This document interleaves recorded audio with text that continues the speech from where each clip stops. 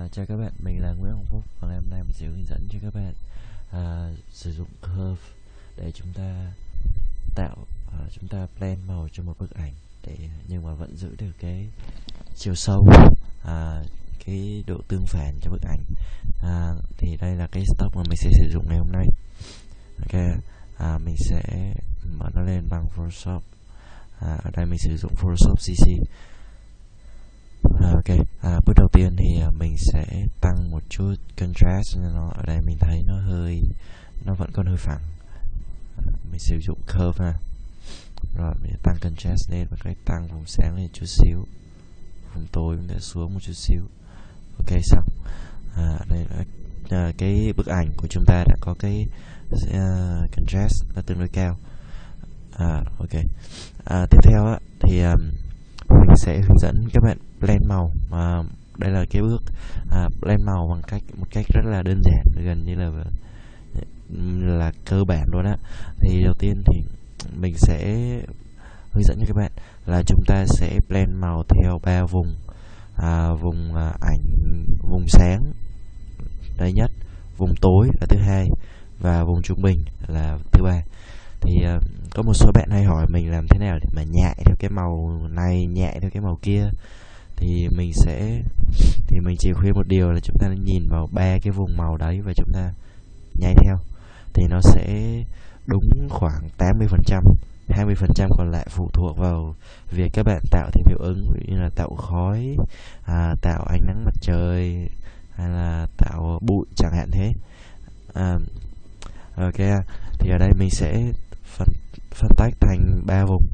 À, ở đầu tiên là cái uh, vùng này vùng tối ha. À, thứ hai nữa là vùng này vùng sáng.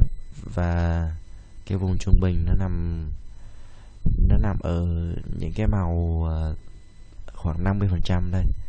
Nó không sáng không tối gì cả. Ví dụ như ở, ở vùng cổ này chẳng hạn. Đó. ok ha. À, đầu tiên là mình sẽ bắt đầu với à, cái shadow trước à, cái vùng tối trước ha vùng curve. À, cái cách blend màu đơn giản nhất mà hầu như lúc nào cũng hiệu quả đó là chúng ta không nên à, chúng ta đơn giản là kích cái màu có sẵn của bức ảnh lên thì nó sẽ đơn giản và nó à, trông nó rất là tự nhiên mà nó vẫn gây ấn tượng ha. Thì ở đây cái vùng này nó hơi tối à, mình thấy nó có hơi một chút à, nó vẫn hơi nóng. À, theo cái ý của mình á thì mỗi lần mà chúng ta uh, lên một tấm ảnh hay là retouch lại một tấm ảnh nào đấy. Thì chúng ta nên cân bằng uh, cái độ uh, về cái độ nóng lạnh ha. Ở cái vùng này mình cảm thấy nó rất uh, hoàn toàn màu nóng rồi. Thì đây mình sẽ sử dụng màu lạnh để mình cân bằng nó lại. Thì màu lạnh mình sử dụng đây là màu uh, king blue ha. Uh, ở đây thì chúng ta đang thao tác trên uh, hệ màu RGB cho nên là nó sẽ có red green blue. Uh, hôm ở uh, trước có cái tút mình đã nói tới rồi. Uh, nó có màu red uh, màu đỏ này nó sẽ uh, trái ngược với lại màu cyan green trái ngược với magenta và blue trái ngược với màu yellow màu vàng. Thì uh, ở đây mình khi nếu mà để ý khi mình giảm đi nó sẽ tăng màu vàng lên còn khi chúng ta tăng lên thì nó sẽ tăng màu xanh. À, cho nên là ở đây mình muốn tăng màu xanh nên mình sẽ để nó lên cao một chút. À, và tăng màu cyan. À, nãy mình đã nói nha cyan nó, nó giống như là màu xanh dương mà nó hơi nhạt tí xíu á. Thì à, đối lập với màu đỏ là màu xanh dương nên mình đơn giản mình giảm màu đỏ đi thì nó sẽ tăng màu xanh dương lên. Ok. Đã xong.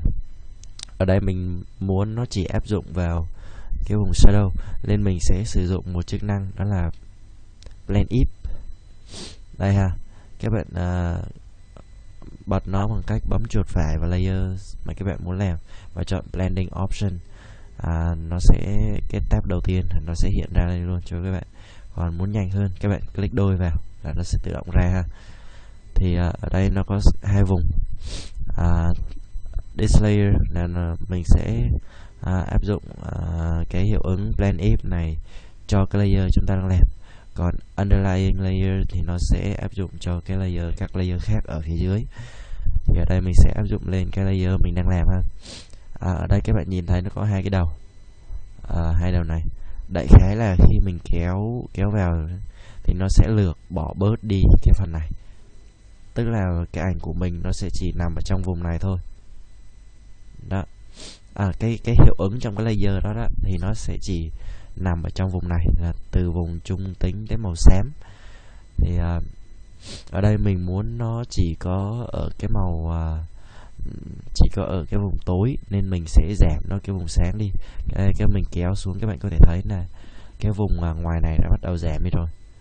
Nhưng à, khi chúng ta giảm như vậy thì nó sẽ tạo ra cái sự tương phản rất là mạnh. Thì cái cách của chúng ta đó là thay vì chúng ta kéo một lần à, nguyên một cái vậy các bạn đè phím Atlas và các bạn kéo ra. À, nó sẽ tự động tách tách ra tách đôi ra. Thì các bạn có thể hiểu cái vùng tách đôi này nó giống như là à, cái vùng chuyển nó vận chuyển nhẹ nhàng đó.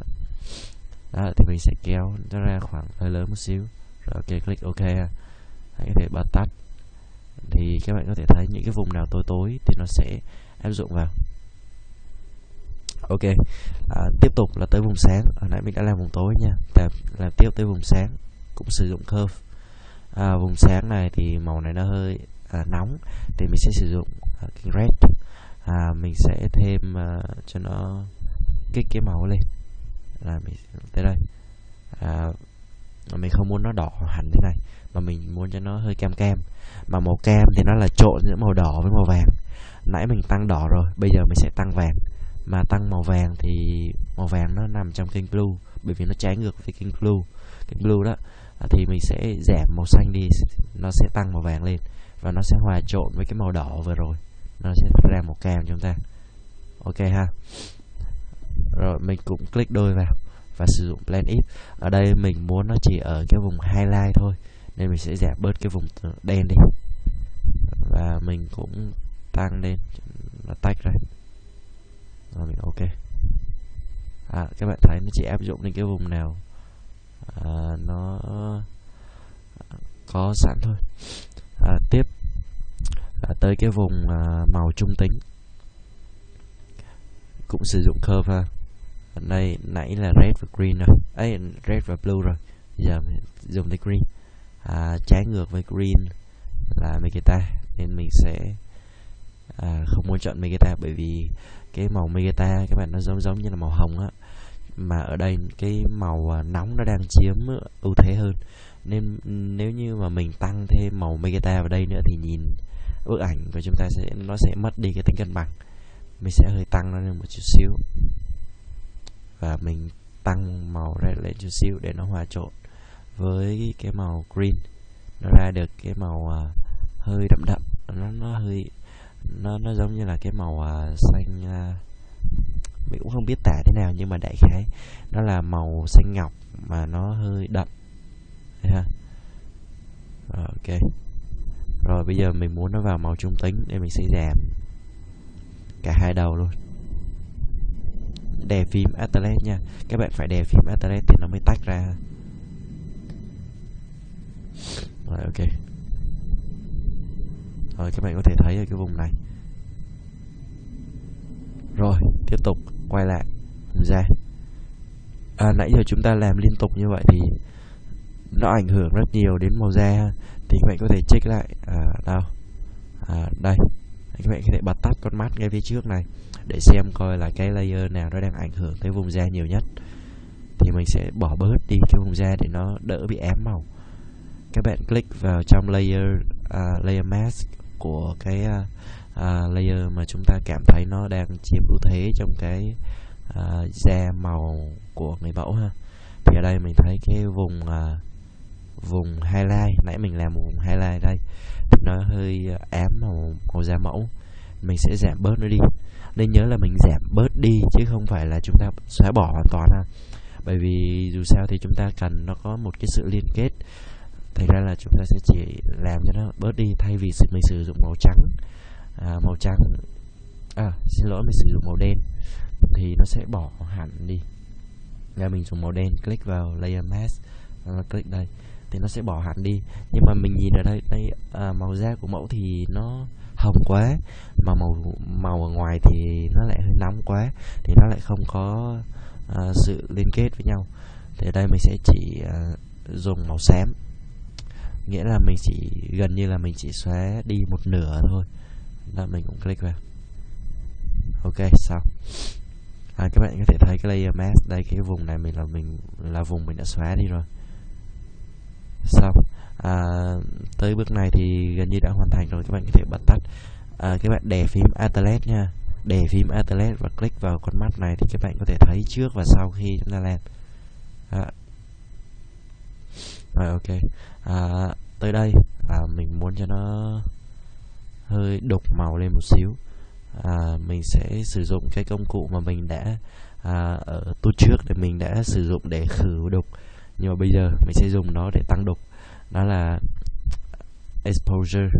À, ha. ok các bạn sẽ tăng cái offset lên. Tăng offset lên chút xíu thôi. À, ok. Tại đây mình giảm opacity rồi. Và mình không muốn cho nó vào cái vùng sáng. Mình giảm bớt cái vùng sáng đi.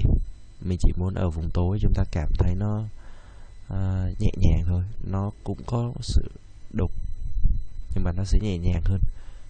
Ok các bạn có thể bật tắt đi có thể thấy được cái uh, tác tác dụng của nó. Mình giảm bớt đi xíu nữa. Rồi. À, cơ bản thì chúng ta đã hoàn thành. À, các bạn có thể thấy là cái uh, công dụng của việc mà chúng ta tách ra ba vùng như vậy thì nó sẽ tạo cho cái uh, ảnh của chúng ta có được cái độ sâu. Đó, nó nó luôn có cái sự tương phản và nó làm cho bức ảnh của ta nổi khối lên. Thì lúc đó ờ, bức ảnh của ta trông sẽ 3D và nó sẽ nó đẹp hơn. Rồi à, tốt này đến đây là kết thúc. À, bạn à, nếu bạn thích thì có thể bấm like và subscribe cho mình à, xin cảm ơn các bạn.